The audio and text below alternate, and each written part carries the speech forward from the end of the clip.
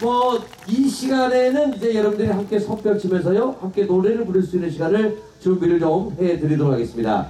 아, 어떤 공연인지는 여러분들이 그냥 보셔도 잘하실 것 같습니다. 색소폰 연주가 준비가 되도록 할 텐데 우리 김영희 선생께서 직접 연주를 해주십니다. 그런데 안타깝게요 가수가 없습니다. 그래서 객석에 앉아 계신 여러분 모두를 오늘의 초대 가수로 모시고자 하오니 아, 색소폰 연주가 진행되면은 객석에서는 함께 손바닥 장단 보내주면서 큰 소리로 노래는 같이 좀 불러주시면 고맙겠습니다. 색소폰 연주 여러분 큰 박수로 청해 듣겠습니다. 박수 주십시오.